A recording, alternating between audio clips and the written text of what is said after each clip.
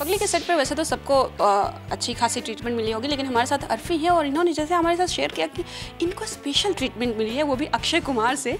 Well पहले बताइए उस ट्रीटमेंट के बारे में क्या हुआ था exactly actually special treatment in a very different way मैं फ़िल्म में सबसे लेट कास्ट हुआ था तो मैं अक्षय सर से मिला नहीं था। I I had this feeling कि मैं बोलता था कि अच्छा जब ये सॉन्ग का शूट होगा जिसमें अक्षय सर और सलमान सर हमारे साथ हैं तो I like to meet him I I told Ashwini ma'am I told Kabir sir कि I go with you in the vanity and I say hi to him he came on set he was bang on time which is like he's always before time whenever anything has to happen he was there and ये rap एक rap करना था उनको जो हम कब से याद कर रहे थे लिरिक्स विरिक्स वो वो आए उन्होंने पाँच मिनट में देखा बिना किसी लेवल के उन्होंने शॉट देना स्टार्ट किया and it gave whole thing as one take. Kabir sir had planned probably four takes, but nobody said cut, and he did the whole thing in one take. And while he was going out of the set, we were all sitting at the monitor wondering, and we were really like, wow, he's done a great job. I got up thinking that I'll, I'll follow him and I'll say hi to him, but while he was passing, he stopped. And when he stopped, like, oh, I sat down.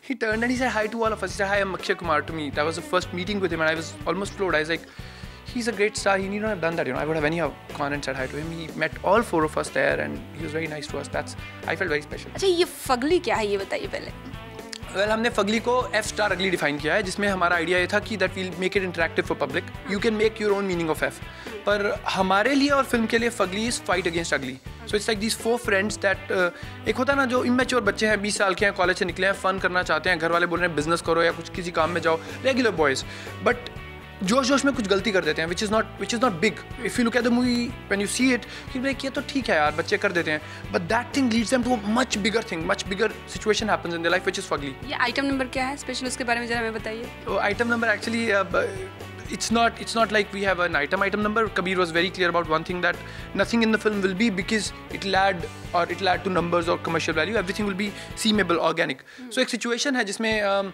uh, जिसमें uh, all the people have to gather together and they have to be I can't talk about the movie, but but mm-hmm. it's a very organic uh, item number that we have, which is a very beautiful number. You guys will enjoy it when you watch it. और ये आदित्य क्या role क्या है इसमें Aditya हग्गू है। मतलब वो हग्गू इसके लिए नहीं है कि उसका पेट खराब रहता है। वो, हग्गू इसके लिए है क्योंकि उसके पापा की 1885 से लैट्रिन की शॉप है।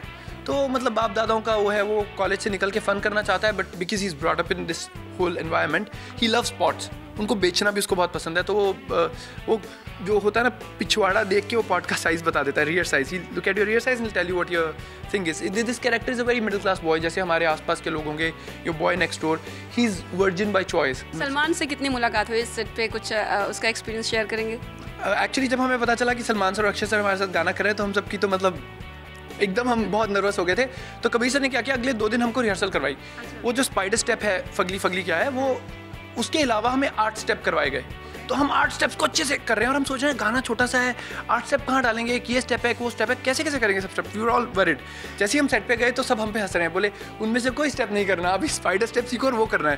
So that was our mind was of the moment Salman sir entered हमें लगा, पता नहीं आठ कार आएँगी नौ कार आएँगी you know he is a superstar he came on a scooty he just came on a scooty on the set and he entered the moment he entered set का energy level यहाँ से एकदम यहाँ चला गया and we were like wow you, you energy change that happens if you feel the energy he brought a lot with us uh, with himself when he came on set I was all I was doing was I was chanting कि मुझे उनके साथ खड़े होने को मिल जाए मुझे उनके साथ खड़े होने को मिल जाए and in this if you see the song I'm just standing next to him that's what I wanted that happened to me thank you so much and all the best for fun thank you so much for having me thank you